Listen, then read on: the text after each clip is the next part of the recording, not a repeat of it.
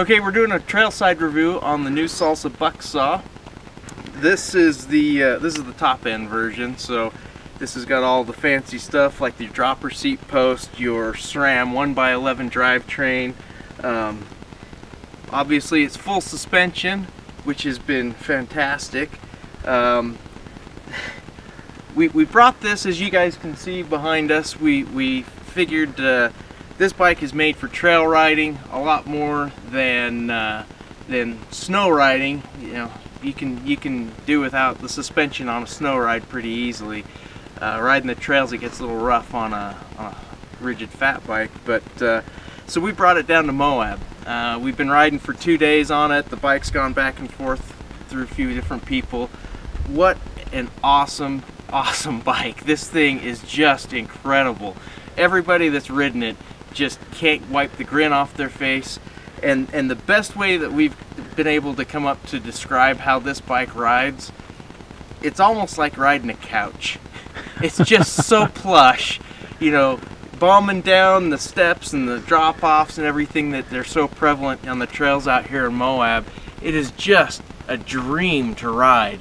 Um, it weighs in at 34 pounds. Uh, obviously, there's there's room to lose some weight with tubeless tires and, and things like that. but uh, you know what? 34 pounds isn't bad for a full suspension fat bike. Um, it doesn't feel like it's slowing you down with the weight.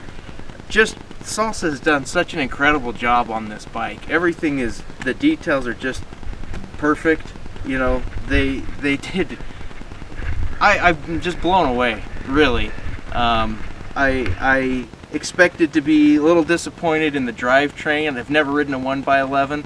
I'm not a super strong climber, you know, so I like my gears and I thought, oh, this is going to kill me. And it's really been nice. It's geared really nice. Um, the other thing that uh, that I thought was going to be disappointing, they, they went with the Nate tire, um, which is a great tire. Um, I think it's a better snow tire than it is a trail tire.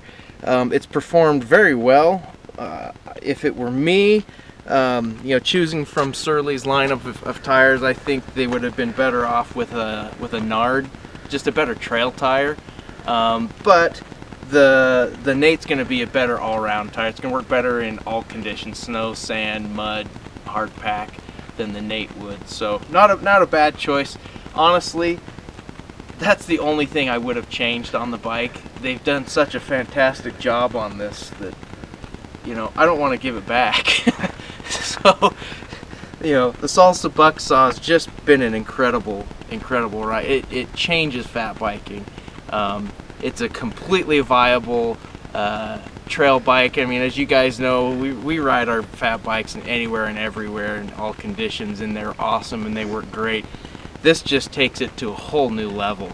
Um, you know, we did 21 miles on some pretty rough trails yesterday, and normally I'd be a little stiff, my back would be aching the next day, and you know, really feel pretty good. And and that's because of this uh, suspension. Um, Another thing that Salsa I think is does an awesome job on their paint jobs. They don't skimp there. Really a beautiful paint job. It's it's hard to see with all the dirt and stuff that uh, that we've got on it, but uh, you know, what are you gonna do? Your bike gets dirty when you take it for a ride. What are your thoughts on the drop seat? Uh, the dropper post. That's my first experience on a dropper post. You know, it's nice to, to be able to drop it, get it out of the way, especially through some of the real technical stuff. Um, for me personally, you know, am I going to spend, you know, two to four hundred bucks so I can drop my seat?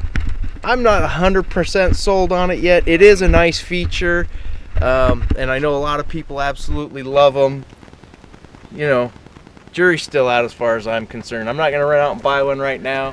Who knows? Down the road, it may be something that I add to the to the Farley or another another bike we end up with, but anyway, that's that's the basics of the uh, the Salsa Bucksaw. Uh, they've got two models. This one uh, suggested retail is $4.99 and the other version is $3.99. Difference being the other version, I believe you get X9 instead of XO. It's a 2x10 drivetrain.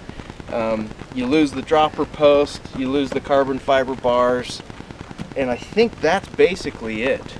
Um, Oh, one of the most impressive things I forgot to mention this rear linkage. I don't know what they've done here, but you don't get that bouncing effect that you can with some full suspension bikes when you're standing up and pedaling or you're you're just really cranking hard on the pedals. You don't feel all that power loss um, as the suspension's compressing. This it, it stays pretty rigid when you're on the pedals and and works you know gets moving when you're in the bumps so uh, salsa really has done their homework and, and has put together a fantastic bike. Um, so anyway that's enough talking. We're gonna go ride it some more.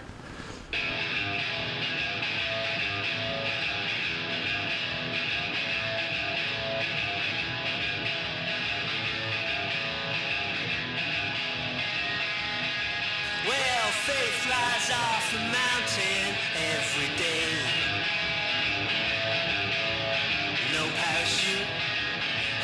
No to say.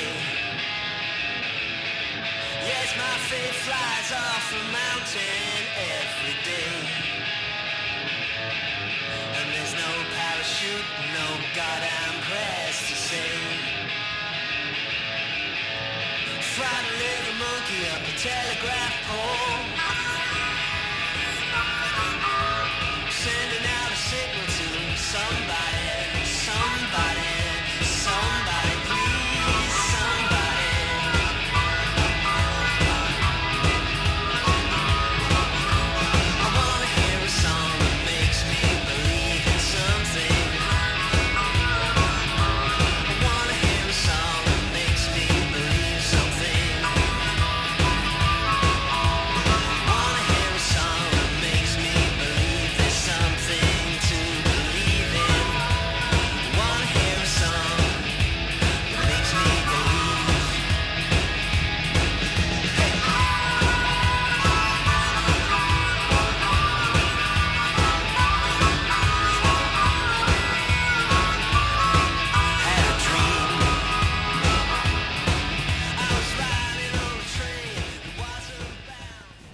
Hey thanks for watching. If you want more details and full review go to fatbikebrigade.wordpress.com and you can find it there. Thanks for watching and we want to thank mad dog cycles and orem for giving us the uh, to test out. See you next time